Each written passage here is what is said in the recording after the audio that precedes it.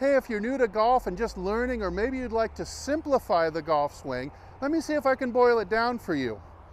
First, bow at the hips, not the knees or the spine. Then it's just two components. Step to the right foot, step to the left foot, step to the right, step to the left. Then, the second one, cock the wrists, snap the wrist. Cock the wrist, snap the wrist. It all ends up looking like a really nice coordinated action. Bowing at the hips, and we're just going to step and snap.